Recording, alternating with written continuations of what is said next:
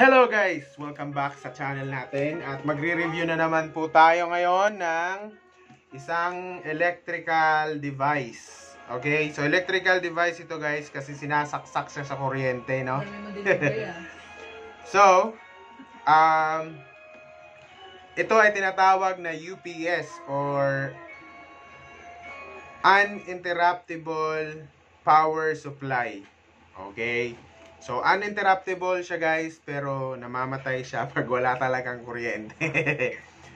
so, um, ano to siya, surge protector din para sa mga device nyo. Diba, may laptop kayo or may computer kayo, may PC kayo.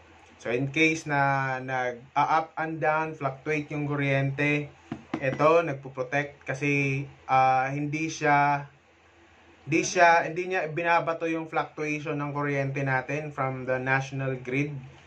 Mini-maintain niya yung mini-maintain niya yung kuryente na ito, lobat, lobat, lobat.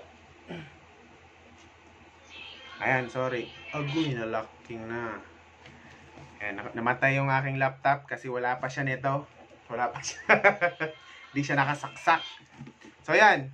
Ang purpose ito guys is para at least hindi agad na ba mag-brown out at may ginagawa ka sa iyong computer. Hindi agad mamatay yung computer mo without saving whatever you are doing. Okay, English yun guys ha. Pero, yun yung meaning niya. Para at least magkaroon ka pa ng enough time para magawa mo yung dapat mong gawin. Just in case na brown out, hindi agad siya snap, nawala ang kuryente, patay yung PC mo, wala ka na magagawa. Hindi mo na maayos kung ano man yung dapat mong gawin. So, yun.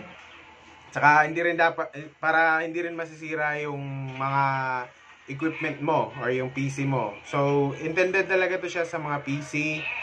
Ah, may mga ganito rin ah, mga aircon at saka ah, mga refrigerator pero iba iba yung ano nila. Hindi ko alam kung pwede to. Pero I think ah, depende sa amperahe yon, depende sa bigat. Pero ito kasi siya, marami siyang marami siyang ports um, yung pwedeng pagsaksakan. So kaya namin to binili dahil doon. So stop for the moment. Let's open it up. Re-review lang natin to guys kasi um, binili namin ito sa handyman. So um, bakit? Hindi online. Kasi mahirap pag bumili ka ng mga electronics at electrical devices online. Kasi hindi mo ma-check.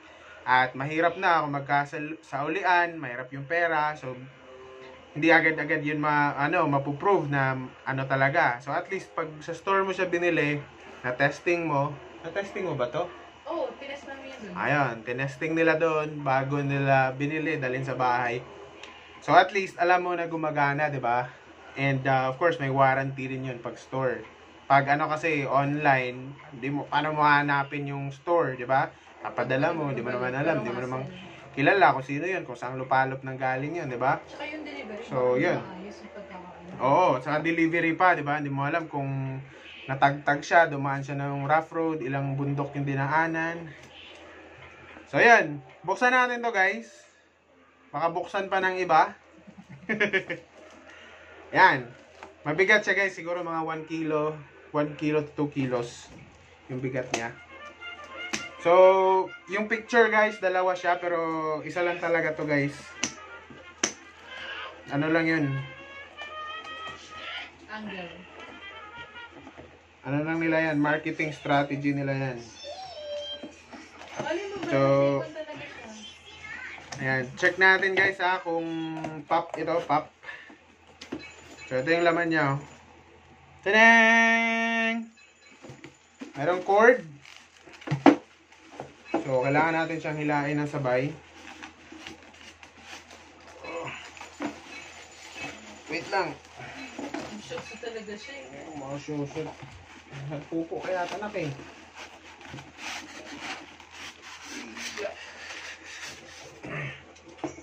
Yan. Bigat talaga. Okay. Ah. So, syempre, handyman siya. So, syempre, ganda talaga yung packaging nito. Oop, yeah. Oh, wala na siyang ibang accessories, oh. Plug and play. Plug and play lang to guys. So ito yung plastic niya. Wait, this is mine. Okay, so ito yung tsura niya guys. Napaka... What's this? What's this? Stereo? Stereotype. Okay, so ilang minutes ito guys? Ilang minutes yung tinatagal niya? Ilang minutes nga ba? 15? Hindi, mga ano yan eh, almost one hour yata. Hindi yata ah. 15 minutes lang yata ito eh. 15 minutes lang yata yung tinatagal nito guys. So sabi niya dito, uninterruptible power supply, line interactive design with boost and buck, high low voltage protection. So yan ito yung fluctuation, taas, baba. Di niya sisirain yung equipment mo.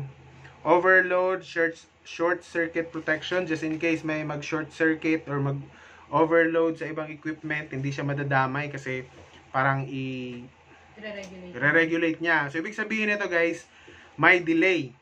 Ibig sabihin, consistent yung binibigay niyang supply sa um, sa equipment. So, marahil maraming ano, hindi alam talaga paano gumagana itong UPC. So, electronics kasi ako, UPS pala. Electronics kasi ako guys. So, uh, just a brief brief explanation kung ano talaga tong UPS na to. Parang regulator siya. So, ano ba ni- nire-regulate niya? Yung kuryente at saka yung voltahe na binibigay niya sa equipment. Halimbawa, eh, may laptop ako. 'Di ba ang usual ginagawa natin, sinasaksak natin sa diretso sa outlet. Ngayon, yun nga, pag may short circuit, may nasusunog, maapektuhan yung equipment natin. Magkaganon-ganon siya or somehow pag ano ba, nag-brown out agad, pak, mamamatay agad yung ano natin, yung PC natin. So pangit 'yun sa mga equipment. Maaring masira yung internal hardware ng ating PC or ng ating CPU dahil abrupt yung pagkawala ng kuryente and may ginagawa ka hindi masisave, masisira yung mga software mo sa PC mo dahil namatay agad, hindi na log off na maayos. Yun yung mga consequences pag wala ka nito. Diretso, direct. tools na na Oo, na, na, na nalagaw na maayos, na ano siya. Oo, si system error siya.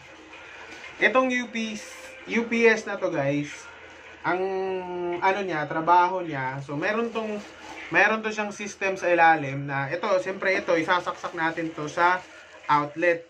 Ngayon, ang gagawin nun, ang gagawin itong UPS na to, is i-regulate niya. Paano niya i-regulate? So may may ano to, mayroon to siyang transformer sa loob. Tapos may mga electronic parts din siya na ah isi-save niya yung kuryente na pumapasok. So ibig sabihin, pagpasok ng kuryente, isi-save niya yon sa isang capacitor. So tapos mag magbibigay rin yun siya ng output. Ito na yung mga output niya guys, oh. So nakikita niyo yan, anim. Anim yung output niya. So kung 220 yung sinaksakan mo, 220 din yung lumalabas dito sa mga outputs na to. So, ibig sabihin, kaya niyang magbigay ng ah, anim na 100, ah, 220 na outputs na voltage. Na same. Na same yung ano niya, yung kuryente niya. So, pero hindi advisable na ubusin to ah na ubusin mo yung anim na yan. So, yun nga, advisable, tatlo or dalawa lang. Wala ka namang sigurong paglalagyan ng maraming PC. Kung sa bahay lang. Kasi kung sa office, office to, hindi hindi lang ito yung gagamitin mo. Mas malaking ah, UPS. Pero yun nga, for the sake of learning, ah magiging teacher so yun, ang mangyayari doon kasi, um, yung system niya dito sa loob, yung mga parts niya, may capacitor, isi-store niya yung voltahe. So, store niya yung mga voltahe, guys. Yung voltahe na pumapasok from this cord, i-regulate niya or basta ipaprocess niya, isi-store niya dun sa isang capacitor. May malaking capacitor to sa loob. Kasi yung capacitor, ano yun, nagsistore yun siya ng electricity.